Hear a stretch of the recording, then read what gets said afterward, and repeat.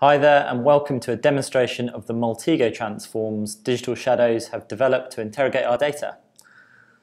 Maltego is a great tool for aggregating and visualizing data from multiple sources to understand the links between entities. I'm going to show you a few examples of how you can use our data to enrich your investigations. So say you want to know more information around a specific actor or group that you've been asked about. As an example, I've chosen uh, a very recently active threat group who've been targeting high-ranking US government officials.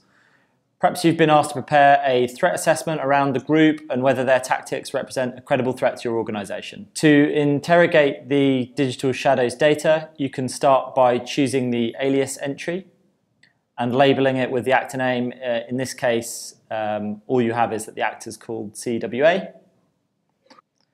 If you want to know if the Digital Shadows intelligence repository contains information around this actor, you can execute the alias to actor transform. In this case, there is an actor profile around a group called Crackers with Attitude, which may be the group you're looking for.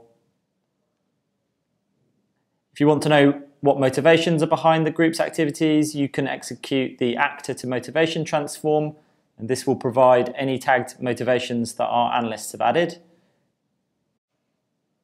And in this case, we can see the motivation is ideological anti-establishment.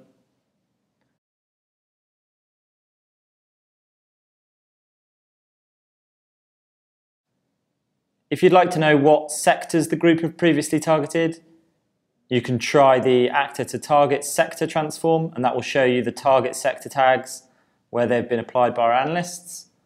And in this case, it's utilities, technology, retail, telecommunications and government.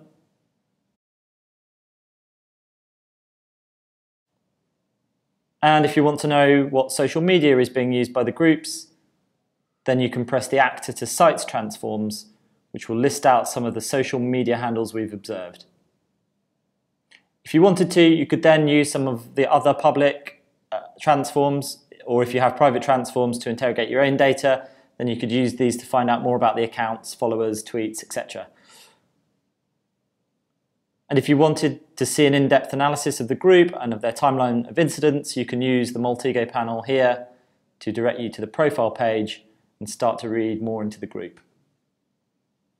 So here we have an intelligence profile of the group, including the threat level, targets, um, tactics, uh, and you can also interrogate the timeline to see a summary of uh, recent incidents associated with the group.